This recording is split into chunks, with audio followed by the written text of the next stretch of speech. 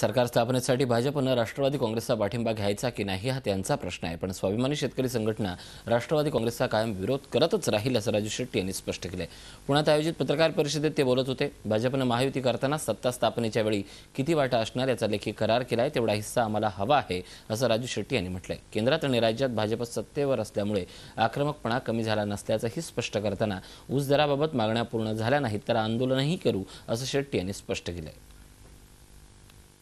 महायुती निर्माण झाली त्यावेळी काही आश्वासनं भारतीय जनता पक्षाच्या नेतृत्वानं आम्हाला दिलेले आहेत. लेखी स्वरूपामध्ये दिलेले आहेत. अर्थात काय दिलेत हे काही मी बोलणार नाही. आणि ते ते पाळावेत असं आम्हाला अपेक्षित आहे.